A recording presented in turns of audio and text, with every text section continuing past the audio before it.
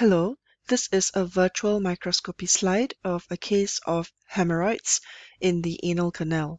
Here we can see two polypoid tissue pieces that are covered by stratified squamous epithelium and these are serial sections from the same specimen.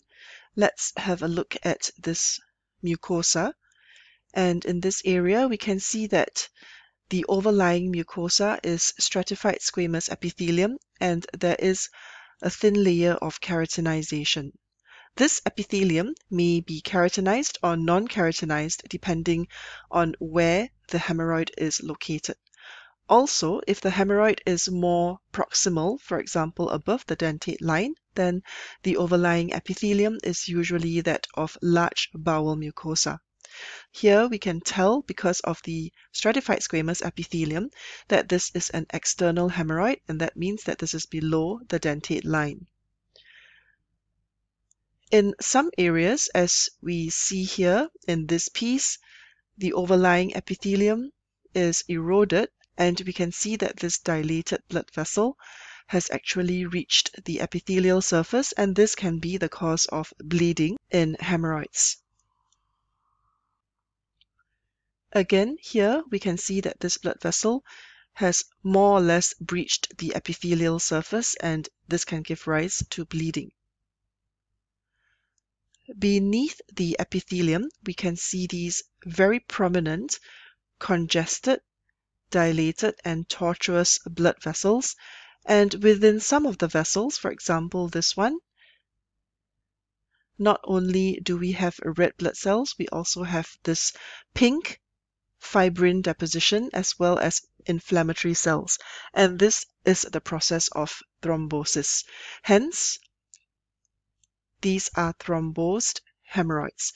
Usually when there is thrombosis within hemorrhoids, the patient will experience pain. So again, in this vessel, we can see the fibrin and inflammatory cells as evidence of thrombus formation.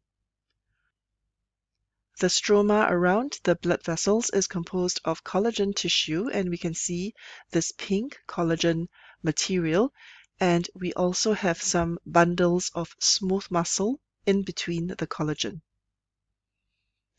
Let's briefly learn a bit more about hemorrhoids.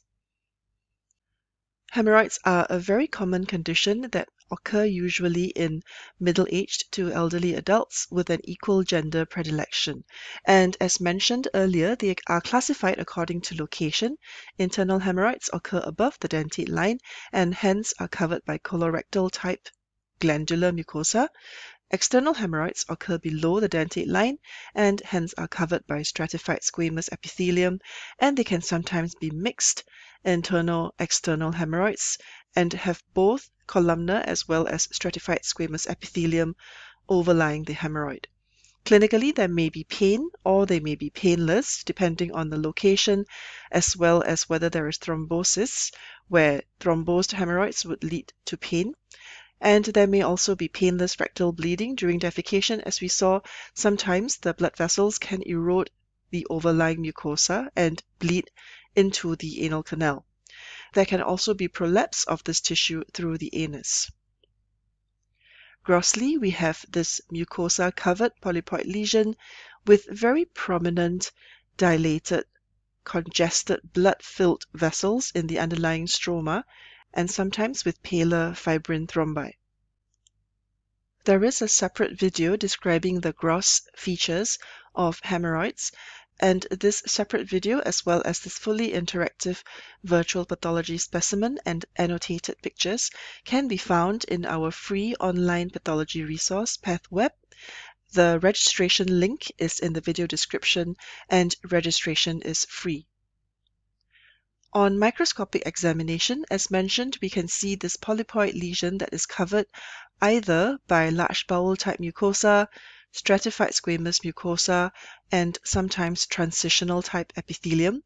And below this mucosa, we have these dilated, congested vascular spaces filled with blood and sometimes with the presence of fibrin thrombi. And as we saw earlier, the intervening stroma contains fibrous tissue as well as sometimes smooth muscle bundles. Here is the area of erosion of the mucosa that we can see with this large blood vessel, and this can give rise to bleeding per rectum. Hence, in summary, this is an example of hemorrhoids within the anal canal, and what we are looking at here is external hemorrhoids, which is covered by stratified squamous epithelium. Beneath the epithelium, we have these dilated, tortuous, congested blood vessels, some of which contain areas of thrombosis.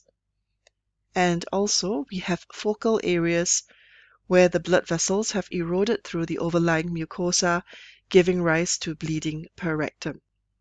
Thank you.